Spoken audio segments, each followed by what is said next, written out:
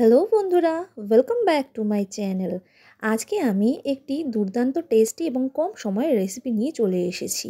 প্রায় সময় বাড়িতে তো আমাদের দু চারটে হাতে গড়া রুটি বেঁচেই যায় এবং সেটা যদি ডিম দিয়ে আমরা এইভাবে করে নিই, তাহলে তো লাগবে দারুণ।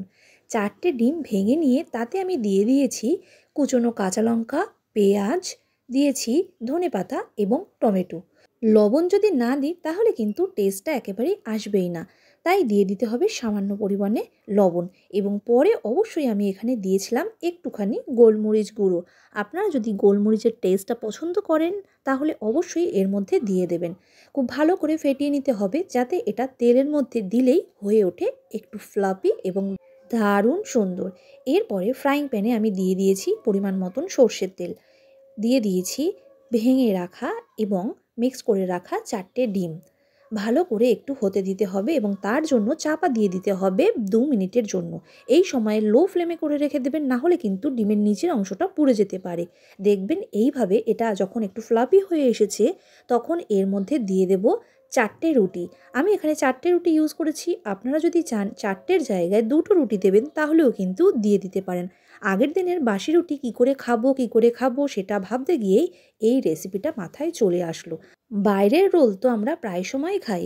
তবে ঘরে যদি শর্টকাট এইরকমভাবে আটার রুটি দিয়ে আমরা বানিয়ে নিই, তাহলে কিন্তু হয়ে যাবে দুর্দান্ত টেস্টি। বাচ্চা থেকে বড়দের টিফিনের সময়ও কিন্তু ঝুর ঝামেলা থেকে মুক্তি হয়ে যাবে।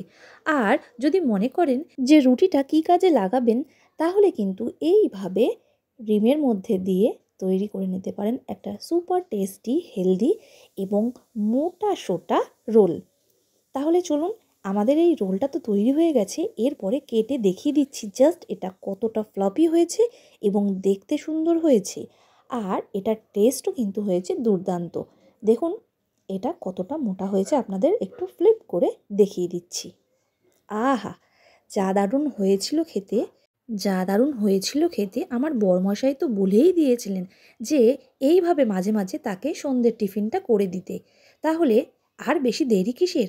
আপনারাও যদি মনে করে থাকেন যে এই রকম সুপার টেস্টি এবং হেলদি একটি রেসিপি বানাবেন, তাহলে কিন্তু বাড়িতে চট জলদি তৈরি করে নিতে পারেন। আজকের মতন এটুকুই, আবারও দেখা হবে নতুন কোনো রেসিপির সাথে। ভালো লাগলে অবশ্যই লাইক কমেন্ট শেয়ার আর সাবস্ক্রাইব বাটনটি প্লিজ প্রেস করে দেবেন।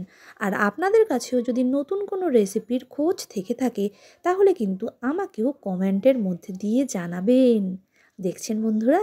কত মোটা হয়েছে। সো আজকে এবার চলি, আবারও দেখা হচ্ছে নতুন কোনো রেসিপির সাথে। So bye bye friends